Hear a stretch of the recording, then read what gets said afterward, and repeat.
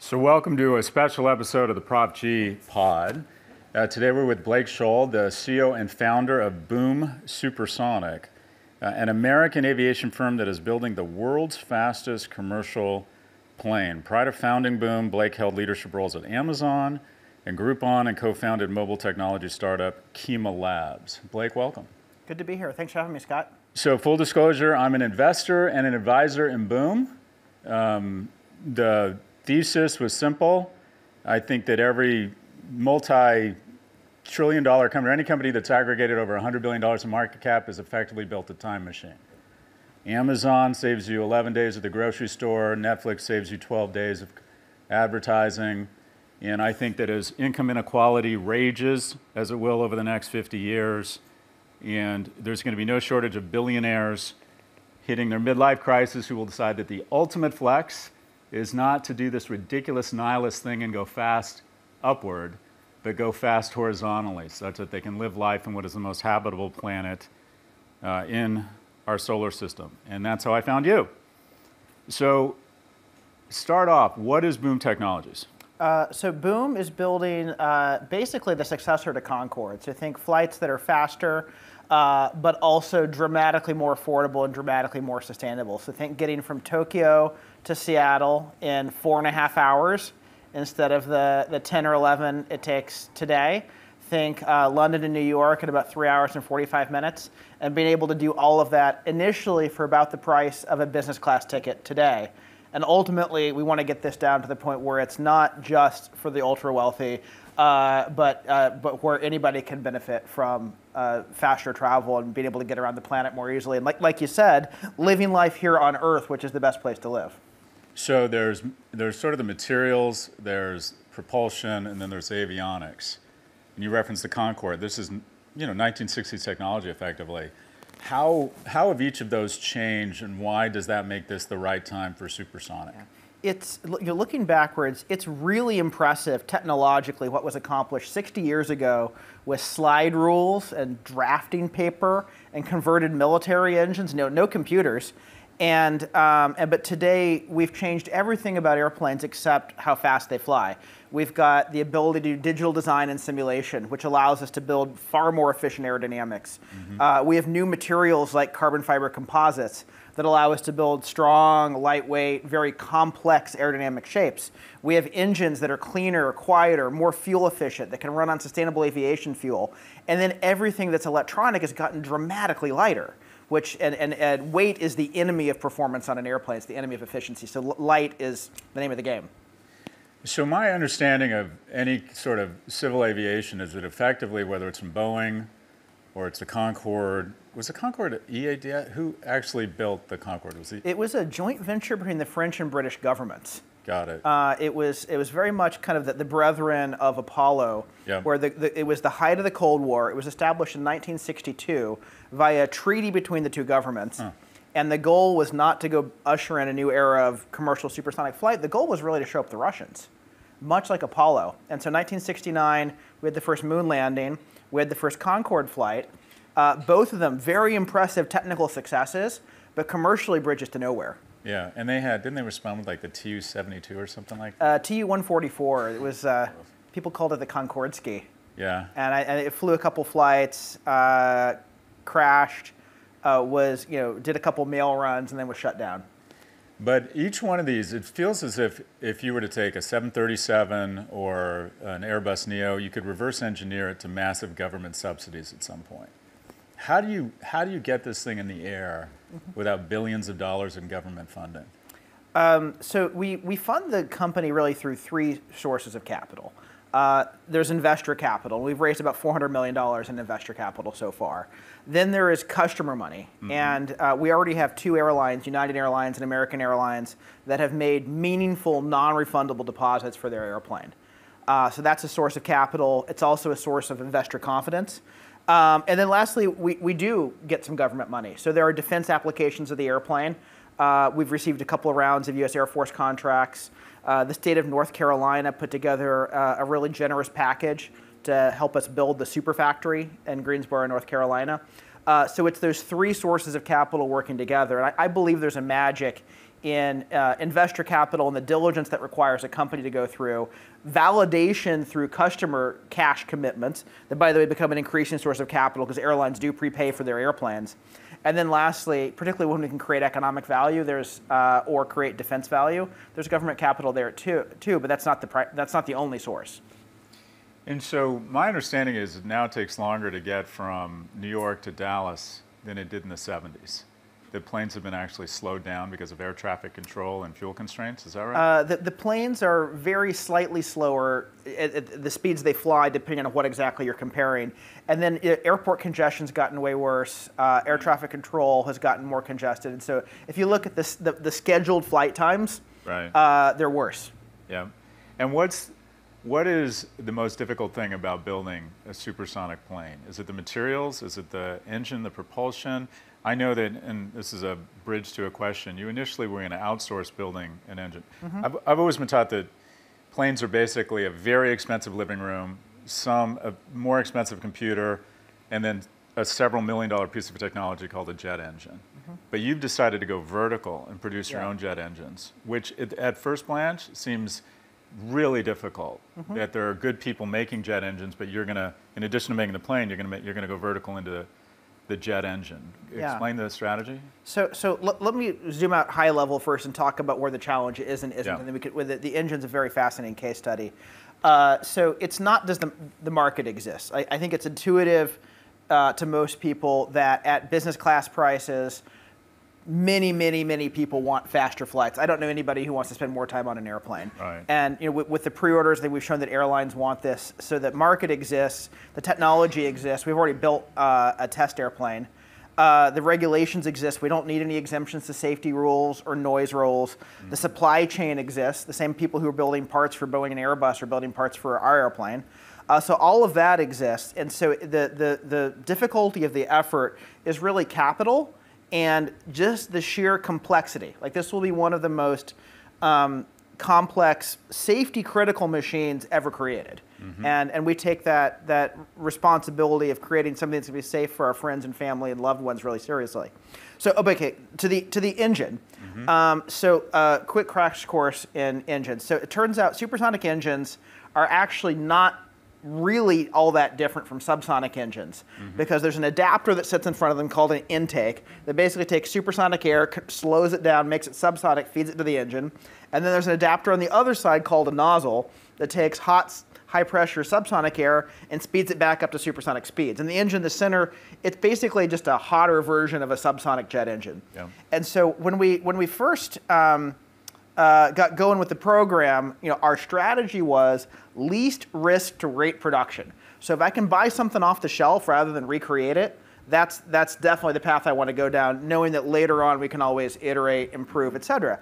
And so we, we spent time with uh, the, the three companies that build jet engines, and there are really only three big, big ones on the planet. And we looked at taking a, a subsonic jet engine and kind of shoehorning it into a supersonic airplane. And, and it turns out you can do that but it, it, comes with a couple of uh, a couple of big drawbacks. Mm-hmm. Um, one is so subsonic engines are designed to be at full power for only a few minutes at takeoff, and then uh, at cruise flight they're throttled back, and that you know the, the uh, they're not running at maximum power, maximum temperature. Supersonic's the reverse. You're full power at uh, takeoff or sorry, full, full power, uh, throttled back at takeoff, and then your full power at supersonic cruise flight. So you're, so you're spending a lot of time at maximum power, maximum temperature. So it blows through spare parts uh, far more quickly. And then the other piece is business model. So uh, uh, the, the subsonic engines today are basically given away, and all the money is in the spare parts that are marked up like 4x. And so we looked and said, hey, if we shoehorn an engine that's not designed for long time at supersonic flight, and we're marking up the spare parts crazy, then the engine spare parts ended up being something like 40% of the total cost of supersonic flight. And, and we looked and said, hey, if we design a new engine uh, for reliable supersonic flight and we tweak the business model so it's, it's not all about replacing broken parts, we can significantly reduce the total cost of supersonic flight, make it available to more people in more places. And uh, so that's a, that's a little bit of a long winded explanation, but it's probably worth saying this is the same thing SpaceX does. Like if you look at basically every new successful aerospace company, uh, they build their own propulsion. SpaceX builds their own engines. Blue Origin builds their own engines. Relativity builds their own engines. And basically, every uh, electric aircraft startup also builds their own engines. Yeah, and talk a little bit. I remember one of the things about the Concorde was the sonic boom mm-hmm. that inhibited its ability to go over land and sort of kind of hamstrung its route, its mission profile. Has, have there been any advances around sound? Yeah, so um, yes and no. Uh, so there, there were two noise issues with Concorde. Mm-hmm. And one, as you mentioned, is sonic boom, uh, which is it's basically the sound the airplane makes anytime it's supersonic. Mm-hmm. And uh, it's kind of like a double bang, kind of a type sound. The uh, and Concorde, so for that reason, they could fly over land, but they had to fly subsonic. And Concorde was a very poor subsonic machine. Uh, it, it, it, flying, not flying supersonic, it did not do well. And then the other noise question is takeoff and landing noise. Uh, and Concorde had these converted military engines with afterburners that were just rip roaring loud. And so with, with Overture, we said, hey, uh, we're going to solve this sonic boom problem in steps. And on step one, first off, we're going to design the airplane to be quiet for takeoff and landing. Mm-hmm. So it's no louder than any other airplane flying at the airport today. In fact, it meets the latest generation noise standards. Um, and, uh, and that for that reason should be welcomed at airports around the world. Uh, and then we're going to optimize the airplane to be efficient, both supersonic at Mach 1.7, as well as right under the speed of sound at Mach uh, 0.94. And so over land, we can fly efficiently subsonic, 20% faster than other airplanes today, and out over open ocean, we fly two times faster. And down the road, you know, I think people are going to want supersonic flight everywhere. And when there are regulations that support that, we'll build a second generation airplane that can do it. Do we need to fix his mic? I just saw his mic fall down. Oops. Do you want to just clip it up? Perfect. So, uh, sustainability. What is the um, gas consumption per hour uh, versus regular commercial aircraft? Recognizing you can cut that in half because you're going twice the speed. But talk about the sustainability. Yeah, so, so flying faster is more energy intensive.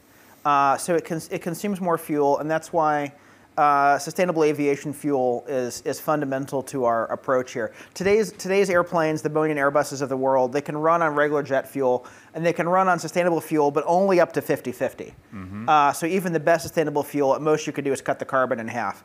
And uh, since we're designing the aircraft and the engine from scratch, uh, we're designing both to be compatible with 100% sustainable aviation fuel, which means uh, you can get all the way to net zero on supersonic actually before you will be able to on a subsonic jetliner. Um, and that's uh, so, so it'll be a, it'll be a leap forward in sustainability. The, the, the, the way I think about comparing this is t- today flying on a subsonic airplane, say across the Atlantic, mm-hmm. is like driving a not very good SUV across the ocean. And um, the and flying on Overture supersonic is going to be like driving a Tesla across the ocean. If you drive it the way I drive mine, it's probably more energy intensive, but it's a different kind of energy. And so the energy costs become an economic consideration, not a climate consideration. And how big is the fuselage? Talk about passenger comfort. Yeah, so Concorde was famous for um, not being comfortable. Uh, the boarding door was pretty short. Most people had to duck to get on the airplane and then they had the, the equivalent of about three rows of floor to ceiling equipment racks with a really narrow aisle. So by the time you're even in the passenger cabin, you know, you're convinced this thing is tiny. I gotta, I gotta squeeze my human to get to my seat. Um, and we want to build something that is uh, so comfortable that people will almost wish the flights were longer. So it's uh, especially uh, one of the aerodynamic features of the airplane is it's bigger up front and smaller in the back. Mm-hmm. Uh, that makes the it's a feature called area ruling. It makes the whole airplane much more efficient, um, which is part of how we're able to get the fares down. Uh, but the boarding door is the biggest part of the airplane. Uh, it's about an inch bigger than a boarding door on a 737. And then you step into the, the front cabin, which has like cathedral ceilings, like eight foot tall ceilings, two seats on each side of the aisle, uh, lots of space. And then as you go to the back of the airplane, the aisle is this beautiful oval shaped. Mm-hmm. So the, the o- oval aisle in the center is big enough that you can pass somebody else in the aisle. Or if there's a drink trolley, you can actually walk past it to get to the lav. And the back cabin is it's smaller. It's about the cross section of a large business jet. Uh, and back there we go to one plus one seating. Mm-hmm. And we've, we've joked that maybe seat 1A should actually be at the back of the airplane because it's just so nice and private and uh, and the, we've rearranged where the bags go, so there's no overhead bins. You can stand up at your seat and not bump your head uh, for mo- for most people. So it's uh, we, we, the seats are different, uh, but we've designed them to be comfortable, and we've, we've put a lot of thought into making sure the first impression is one that people are going to be really excited by. And what's the cost of the plane relative to other commercial airliners? Uh, so it's a, it's a more expensive airplane. Um, the uh, we sell them for 200 million a copy, Yeah. uh, and after discounts, we think a 787 goes for about 150. Got it. Um, uh, but the, the thing that makes the, the thing that we focus on is what is it going to cost for passengers to be able to fly on this? Right. And the lower that number is, the more people are going to be able to benefit from supersonic flight and the more profitable airlines will be. And a thing a lot of people overlook is with a, a supersonic airplane, you could do as much as twice the flights, the same airplane and crew, just because it's faster.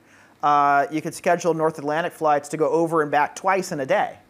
Uh, and so that's less crew cost, less catering cost, uh, less maintenance cost, because maintenance is proportional to hours, not flights.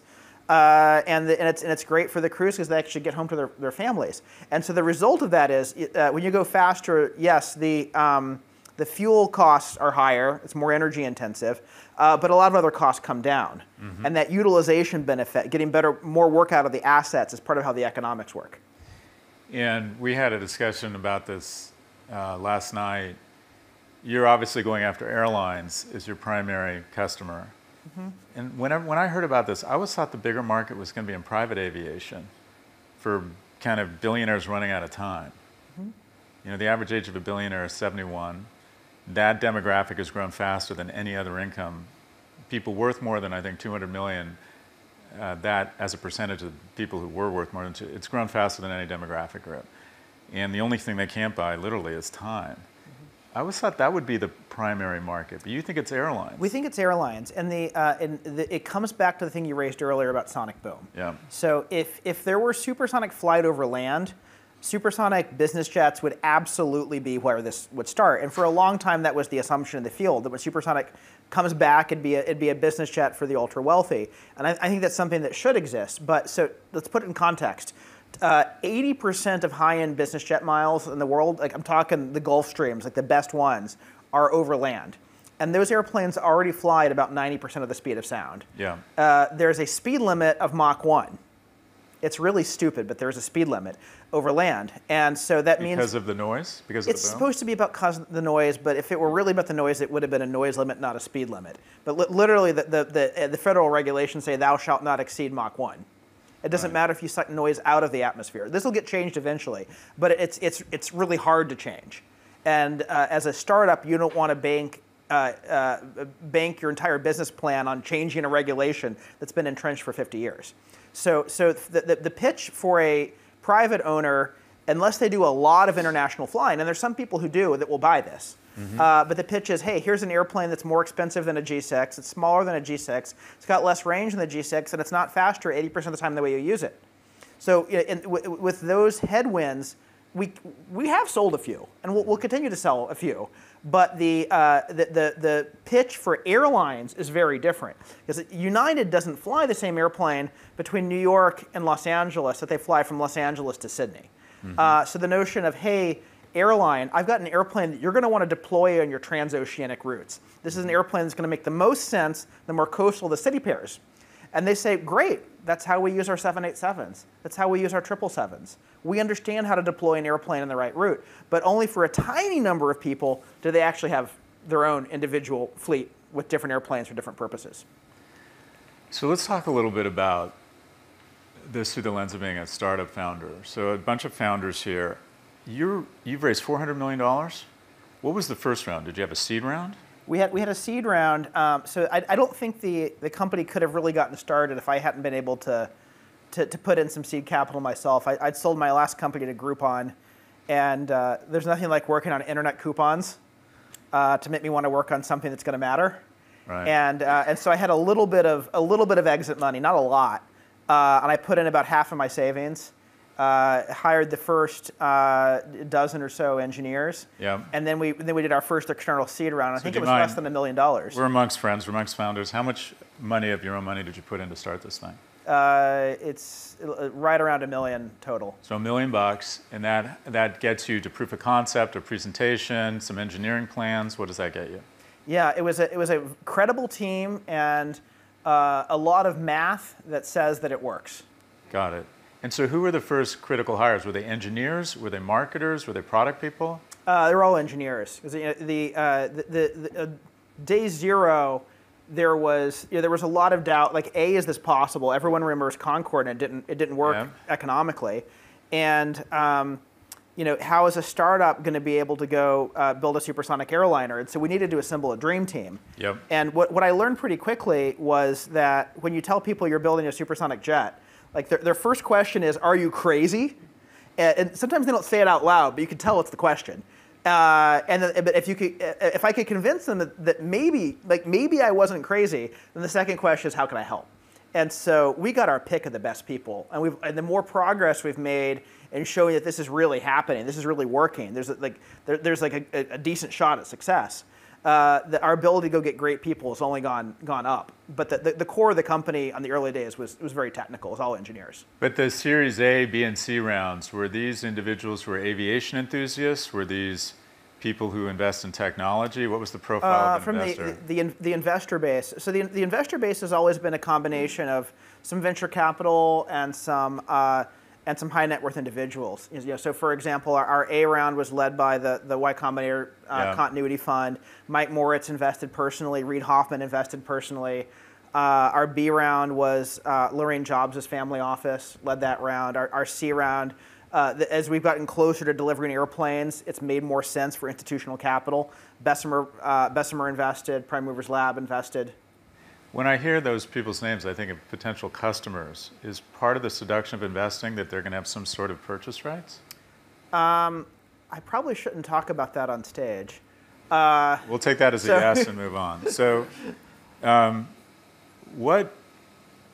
I mean, I, I think it's just so impressive that you're able to raise 400 million dollars for a product that's not going to probably launch till 29. Is that right? 2029. Yeah, I mean, the, to, to give you a sense of the timeline, the factory's under construction now. We've already built the te- first test airplane. We'll have the first unit off the line in three years, in the air in four, and ready for passengers in six. So, so yeah, 2029 for first commercial flights. First commercial flight. So you've raised 400 million dollars. You need to raise a couple billion. Is that right? That's right. And so venture investors, there's passion investors that are looking, I don't know, for the first one or want to want to uh, want, want to own 001. Um, and then there's investors that are looking for, you know, return. Venture investors usually like stuff that offers a potential five to 10x return to get rid of the stuff that doesn't work. This thing, I guess, I mean, technically the company could be worth a lot as you, well, will be worth much more as you get closer to proof of concept. But it just seems like an exceptionally high hurdle for, for investors. That, okay, you need to raise $2 billion, and the payoff is probably towards the end of this decade, and I've got to get somewhere between 10, a company worth 10 and 20 billion based on a technology that is proven, but also in some ways proven that it's really hard. What is, what is the moment where you feel like, and you've done it, you've raised $400 million, which is more money than I think 99% of startups ever raise. Where do their greed glands get going, and when do you see the aha moment when they agree to invest? Because Yeah. it sounds like a, it sounds like a tough pitch just strictly from a capital allocation standpoint. Yeah. Well, Maybe I could. I'll recapitulate uh, what Paul Graham said to me when he invested in our seed round. Yeah. And he said, you know, if uh, Boeing's worth on the order of $100 billion, Yep. uh, if, if you succeed, um, you're going to be worth way more than Boeing is. Call it $200 billion. If I think you have only a 1% chance of success, you're worth $2 billion today, and you're selling me shares for a $15 million valuation. This is the best investment I've ever made. Got it. Uh, so that was that was his logic, and uh, but I, I think there's some I think there's some truth to this. Like the size of the prize is very large. Like our ultimate goal is to replace subsonic travel with supersonic travel on every route for everybody. Yeah. And uh, if we the, the market is telling us we've got a very low chance of success based on what their valuations are now. Because if that happens, that is an, that is one of the most valuable companies on the planet. So the size of the prize is very large, and uh, and what we've done along the way is systematically de-risk the business. So the, the the strategy I learned there was, let's let's make a list of all the reasons this could fail. Uh, there isn't a market demand for it. The, uh, we can't manage to actually build a supersonic airplane. The supply chain doesn't sign up. The regulators aren't cooperating with us, um, et cetera, et cetera. You make a whole laundry list of all the Eeyore reasons. And I, I went and did this, and I felt really depressed when I got to the bottom of it. And then I said, okay, well, what can I actually do to tangibly, and, and tangibly is a key word, tangibly reduce each of those risks? So uh, we launched a pre-sale strategy. Uh, we got airlines to put cash in uh, that, that's non-refundable that says that they want this airplane that we're building. And so that reduced market risk. And we built a subscale test airplane to demonstrate to ourselves uh, and to our, to our customers and investors that we actually can build a supersonic jet. Um, and, and it kind of goes down this list. And so we sort of spiral through what are all the reasons this might not work?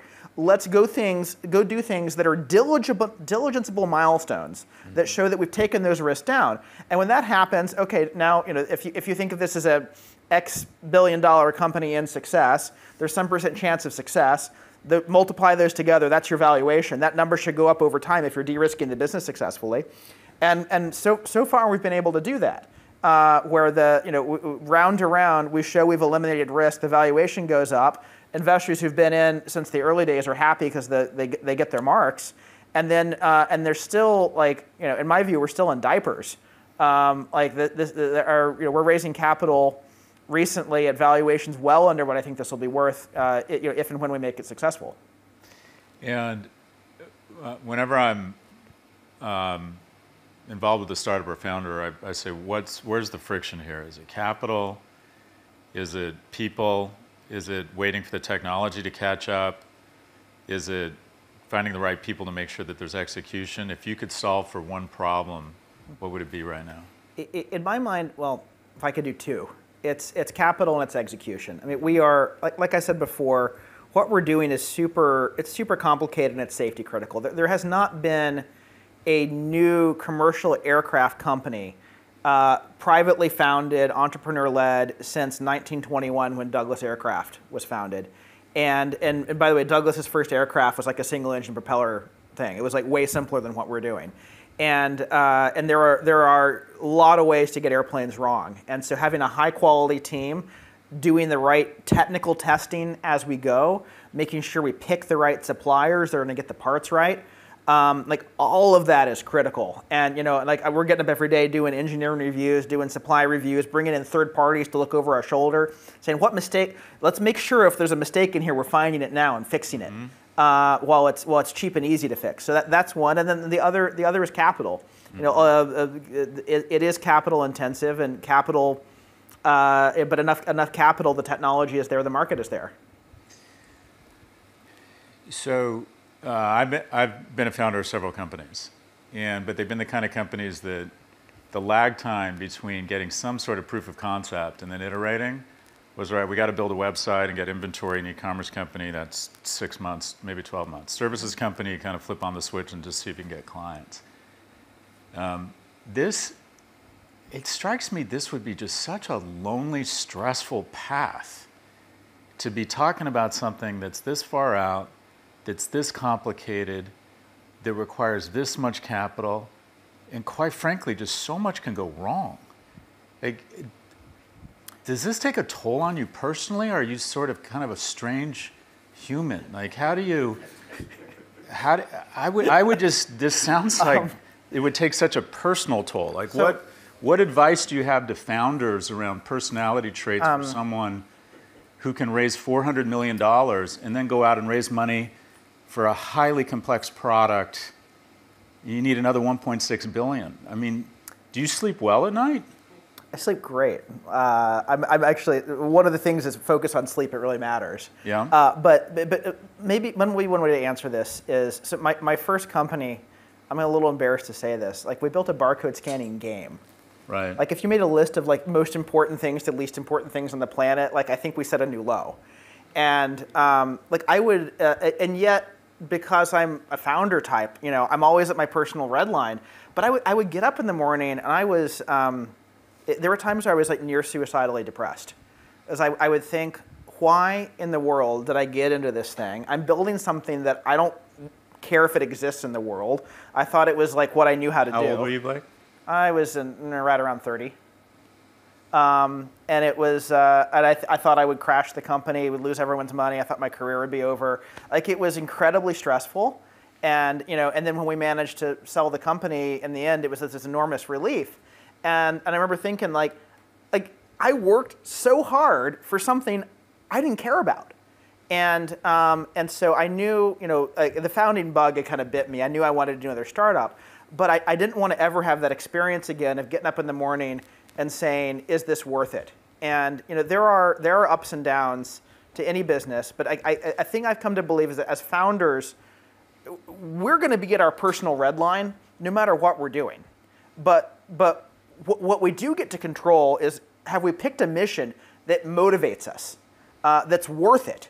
And uh, for me, if I'm going to work that hard, uh, if I'm going to put myself, all of myself into it, if I'm going to see my kids less, uh, it better be something that matters to me. And I am you know, deeply motivated that this is something that should exist. And I would, you know, I'd much rather, I'd much rather try and fail than never have tried. And so uh, this, this, maybe this will validate that I am actually a crazy person, but um, like I find this easier than my first company because it's more motivating and it's more motivating to me and I can get great people to come and work with us. Uh, like the quality of team I have around me, I would not be able to get to do if we picked a lesser mission. So you've worked at Amazon, you've worked at Groupon, you've worked at some great companies, um, and you've worked at Groupon. Um, sorry. Uh, well, uh, seriously, I, I, I, one of my experiences has been that it helps to learn from contrast. Like it, Amazon was Groupon. Like Groupon's a successful company. I'm being a cynic here. No. Um, like Amazon is a really well-run company, and yeah, I, I went there like first job out of school, and I had no idea how good I had it. And then then a startup, and then what did you do at Amazon? I was I started as a software engineer, then I, I built search engine marketing basically. Uh, but then I, then I ended up at Groupon after they bought my first company, and, and comparing those two companies and how they were run was actually extraordinarily um, uh, helpful because the, the contrast showed what really mattered in the culture and what really mattered in the decision making. So, a group of founders, what two or three lessons or pieces of advice would you give to founders and CEOs of startups that, that you learned um, at or learned anywhere? The, the, number one thing is uh, work on something that, that you really love. And it's, it's, a, it's a cliche, but I think it's, I think it's true. Pick a mission that's inspiring. Uh, pick, a, pick a mission that you care more about than you care about your own insecurities. And uh, because the, Mean, like on day one, I, I looked in the mirror in this thing, and I'm like, I am not the human that has the, the resume to do this or the skills to do this. I'm gonna have to reinvent who I am along the way. But this is worth it. I want to make a run at it. And uh, what I found is that that knowledge and skills are way more variable than passion. Uh, like, I hopped industries, and I think I think people underestimate what they can learn if they're if they're motivated to do it. And so pick pick something that that you really want to exist in the world and go lock onto that and then become the person that's the person to, to be able to do it. Uh, so, in addition to following your passion, um, what like management techniques or or hacks for building a company? Um, what what are what? Are, oh, um, let me start. Some of the biggest management yeah. mistakes you've made. Oh, uh, I've made a lot. All, all my worst mistakes have been people mistakes. Mm-hmm. Um, uh, miss, picking people who are maybe strong technically, but weren't weren't good culture fits. Underweighting that was a, that was a big mistake. Uh, but, you know, one thing I can share that might might be useful is uh, how I learned to interview people who were t- technically deep in a field I was initially not technically deep in. Mm-hmm. And uh, my fa- my favorite interview question was, "Teach me something." And so like, all the early engineers, okay, come meet Blake, yeah. uh, teach me something. And, uh, and so either, uh, so A, I got to learn a lot of stuff, but I ended up only hiring people who um, uh, deeply actually understood something and were good enough communicators that they could convey it.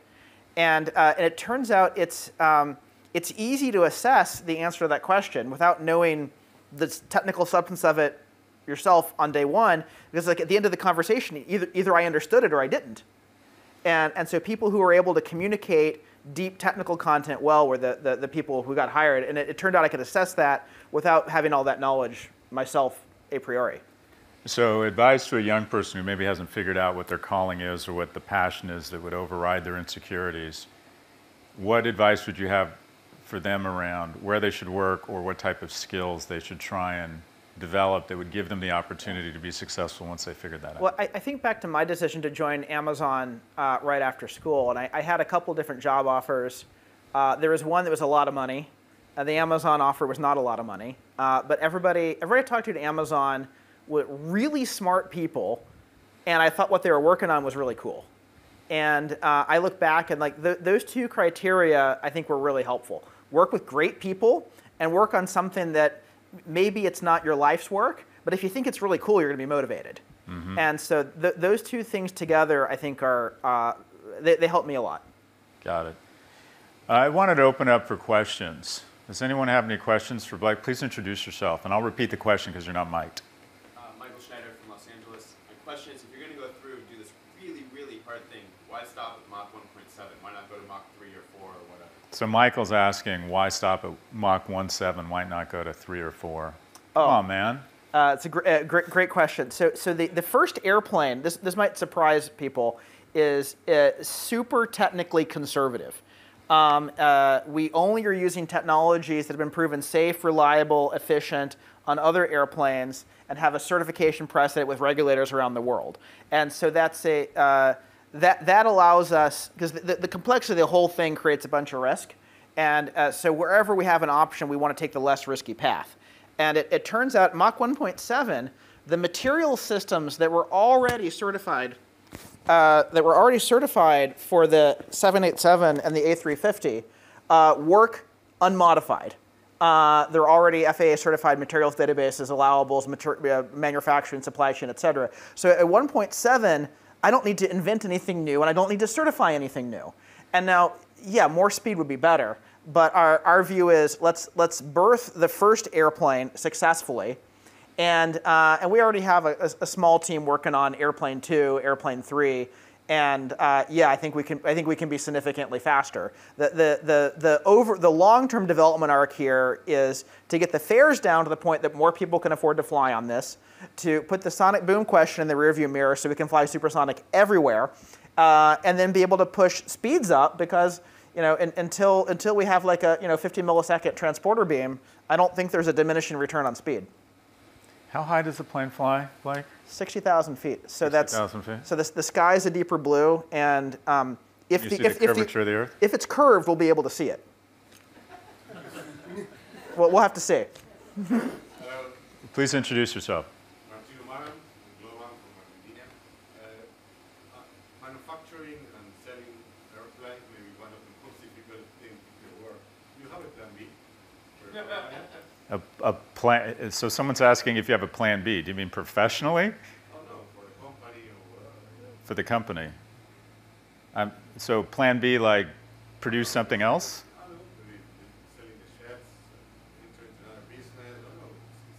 Do you have a plan B? Question mark. Uh, no. Let's make plan A work. Yeah, like you know, I deeply. Um, it, it, at this point, I'm, not, I'm nine years in, and uh, when did you start the company, Blake? 20, 2014. Um, so this is nine years. So nine, this really is. You're going to be, you're in this thing for 20 years plus if it's a, if it's that's right. If it's, a it's, it's worth it. It's worth it yeah. to me. Um, and you know, at this point, like I know enough about the technology, the market, the regulations, the supply chain. Um, this is all possible, and the, the only question is whether we will do it successfully. And there's no there's no guarantee to it but um, but it's uh, it's it's if, if, we execute this successfully, it will work. Uh, and, and so it's focus on execution. And I don't think about Plan B. I think about how to make Plan A work. Why would United put hard money down as opposed to just wait? Is it they want to be first in line?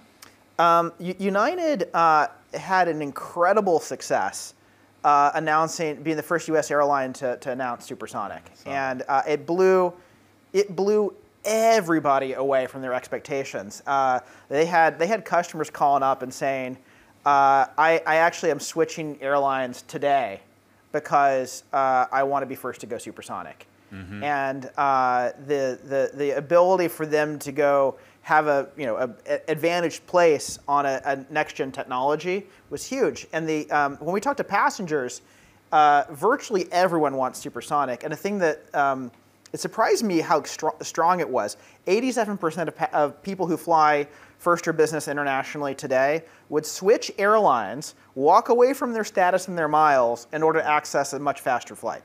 And, and what, that, what that means is it's a loyalty program buster. Yeah. Uh, like it, if, if United has supersonic on a route and the competing airlines don't, um, they're going to pick up a lot more passengers. Uh, and they're mo- and they're, these are the most profitable, most valuable passengers.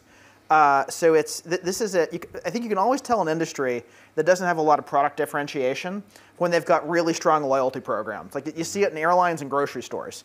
Um, and uh, and this is th- there hasn't been differentiation in air travel products since the first jets came online. And yet today it's like fly my airline, I got a better wine list. That's remarkable. And this is this is a really com- powerful competitive tool, um, uh, and, it, and it starts working even before the airplane's delivered because the the uh, the customers want it so much and they want to be with the airlines that are innovative. So I have one more question, and we'll take one more from the audience. But um, this is, strikes me that as you get closer to proof of concept, concept th- th- just the category makes sense. Uh, I would imagine there's a big market for people who want to get from here to New York in three and a half hours. It just opens up a whole world of possibilities.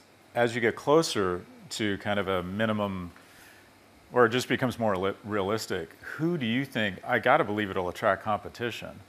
Who do you think is most likely to be your competition here? Is it a Gulfstream? Is it a Boeing? Um, you know, I, I think at some point Boeing and Airbus will say they have to participate. Yeah. uh, because they're in the airliner business, and um, so that that'll you know that'll happen at some point. I don't know when. Um, you know, I think uh, I think that the makers of, of private jets uh, will will enter when you can fly supersonic over land because that's what makes their business case work. Got it. Uh, y- uh, a, for a Gulfstream or a Dassault, uh, if you if you there's only a market for 50 airplanes, it doesn't make sense to develop the airplane. There, it, ha- it has to be at least a couple hundred. And the the, the way we see the math, and I, I think they see it the same way, which is why they haven't done it, is uh, you have to be able to fly supersonic over land. Uh, But I, I think uh, I think the advent of supersonic passenger travel in large numbers is going to cause people to say, uh, "What is that sonic boom thing? Can I hear one?" And then you know, and there are ways to flatten that out. And so people will hear it and be like, "That is the reason that I'm stuck in a tin can for six or seven hours." And, and then the rules will get changed very quickly. And then there'll be second generation supersonic airliners that can fly supersonic everywhere. And then, the, and then I think at that point, the business jet game uh, catches up with commercial. But the, the slightly funny thing here is commercial is going to lead and private's going to follow. And, it, and it's because of that regulatory situation around, uh, uh, around speed. I I disagree with him on this. I just think there's so many people out there. I mean, why, if you were worth a billion dollars, why wouldn't you buy this thing, right? I mean, just why wouldn't you? Um, I, I, I, we argue about this. I think it's going to be, I think the market's going to be essentially every billionaire in the world who has a finite amount of time. Anyway, sir, your last question. Uh, last question. I was just, uh, my name's Tim, I'm from London. I just wanted to link together a couple of the things you've told us. Uh, you talked about capital being the great differentiator, but you've already been doing this nine years. How did you persuade those first private capital providers who are looking for, you know, three to seven years to, to, to get out of this, that they might be locked in for 15 or 20 before they saw, or somebody that they were going to pass it on to was going to see a meaningful return?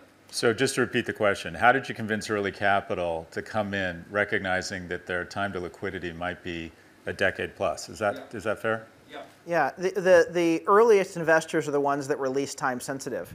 And they were, they were focused on uh, you know, multiple returns. Yep. They were focused on IRR. Uh, but anybody who is focused on returning capital to investors quickly would not be an early investor in a supersonic jet startup. But also, in a couple of years, as this gets closer to fruition and the market gets more excited and sees it as viable in a big market, there'll probably be a secondary market. They, there'll Yeah. probably be opportunities for liquidity as there are with other companies, To- right? Totally. And I think there's a good chance that Boom ends, ends up as a public company, you know, b- before we've delivered the first airplane. Right. Um, and, uh, and that gets everyone liquid. I, I just want to say, and obviously I'm biased here, I just think it's wonderful that there's guys like you that are just this fucking crazy. I just, right? Isn't that, you want, you want people to think, okay, I worked at I work at Groupon. I'm going to build a plane that goes 1,300 miles an hour, and figures out a way to raise a half a billion dollars. I think it's just remarkable. I don't I don't know what are the wrong or the right toys you played with, but I just I wonder like how does that happen? Anyways, Blake. Um, founder and CEO of Boom Supersonic, an American aviation firm that is building the world's fastest commercial plane. I think everyone's on your side. I think everyone would really like to see this happen. Uh, That's uh, Scott. That's why it's going to work because uh, uh, people want this product and they get inspired by it, and they, they they join the team or they become a fan or they become an investor or they become a customer, and uh, uh, it- it's all possible with really great people being behind it. And the, the mission is magnetic. That idea of you know, let's make the it's it's not about speed being cool, although it is darn cool. It's about you know where can I vacation, uh, who can I fall in love with, you know, uh, can I can I be close to my family, and that is something that I think uh, as humans we, we are very magnetically attracted to, and that's what allows this to, to get momentum.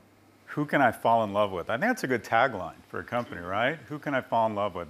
Blake, we appreciate your time. Join me in recognizing Blake Scholl.